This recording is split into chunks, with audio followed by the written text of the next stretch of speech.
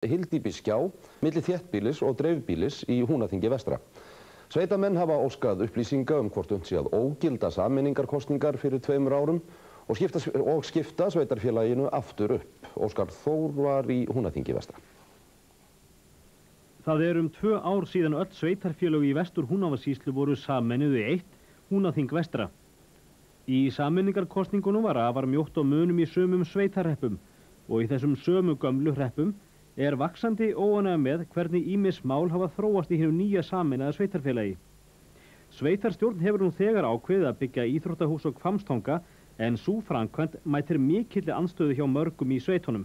Þeim peningu sem á að verja þetta sem verða aldrei undir 100 miljónum væri betur varið til uppbyggingar í atvinnustarfsemi og mér finnst að peningaleg staða sveitafélagsins sé ekki með þeim hætti að sé verjand að fara út í þessa rástöfun núna.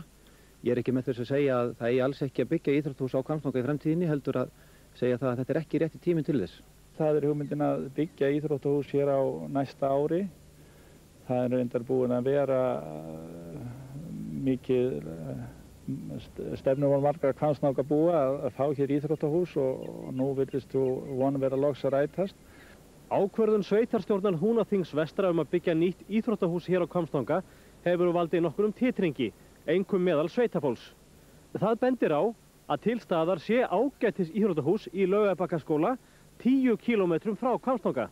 Það, er, það eru tvö ár síðan að þessi sveitafjölu hér voru saminuð og uh, þannig að staðan er svo að sveitafólkið er búið að byggja íþróttahús á sinn reikning og það vil mjög ógjarnan fara út í það að byggja annað, aftur, svona örfáum árun setna.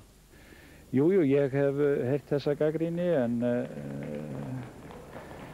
ég, ég hef bara að segja ég er annar á skoðunar og held að þegar við ferðum staðið þá muni þetta nýtst okkur vel. Róttak breyting á fyrirkomulagi grunnskóla kennslu í Húnaþingi vestra sem tók gildi í byrjun þessa skóla árs telja margir til sveit það sé bara fyrsta skrifi í því að leggja niður skólahald á lögabakka og færa alla kennslu út á Kamstonga. Oddviti byggðarás Húnaþings vestra segir ekkert launungumál að það komi vel til greina að byggja upp einn grunnskóla á Kamstonga og finna húsnæði lögabakkaskóla annað hlutverk.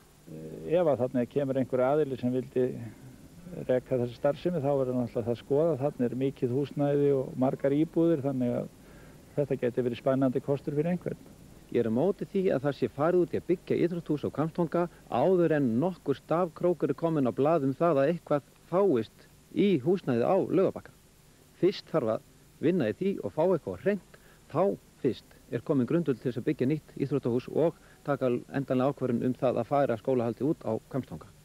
Stöð 2 hefur fyrir því heimildir að í sveitum Húnaþings vestra hafi íþróttahúsmálið og hugsanleg lok skólahalds á laugarbakka gert það að verkum að menn hafi leitað upplýsinga hjá félagsmálaráðunitinu um hvort og þá hvernig hægt sé að nekja saminningu sveitarfélagana fyrir tveim árum. Þú veit ekki á því að, að, að sé hægt á því að menn vilji bara klúa sér frá kvamstóka á nýjaleg? Nei, ég uh, trúi því nú valla. Ég held að uh, við verðum nú að þjappa okkur saman frekar. Það held ég að væri ekki til bóta að menn færi að róa hver í sína áttina. Og meira um skólamál á landsbyggðin.